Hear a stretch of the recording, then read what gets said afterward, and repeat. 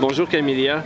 Bonjour. Alors tu es au triathlon de Gatineau aujourd'hui. Oui. Tu as fait la course dans quelle catégorie? U11. U11. Et puis, euh, qu'est-ce que tu as à me dire de la course aujourd'hui? Ben, j'ai aimé ça. T'as aimé ça beaucoup? Oui. Pourquoi? Ben, parce que j'ai. Ben, moi, j'aime bien nager dans un lac. Oui. Oui. Puis, euh, Puis ici, on nageait dans un lac, c'était pas une piscine. non. Puis comment t'as trouvé l'eau? Chaude, froide, correcte? Elle était chaude. D'accord. Combien de mètres tu as nagé? 150. 150 mètres. Et ensuite, la transition vers?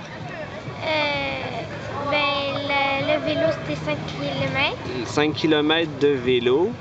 Puis, c'était 1 km et demi pour euh, la, course. À pied, 1 km et demi pour terminer.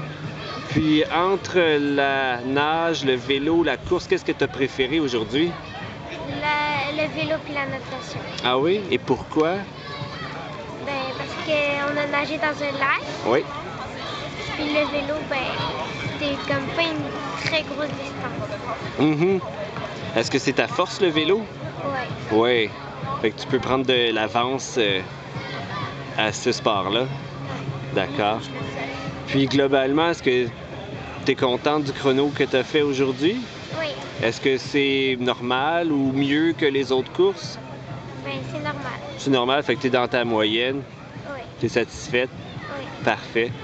À l'école, s'il y a des amis euh, à toi qui font pas de triathlon, qu'est-ce que tu leur dirais pour les inciter à en faire avec toi? C'est amusant. C'est amusant? Oui, les coachs, ils sont gentils. Ah oui? Ouais. Ils sont comment les coachs?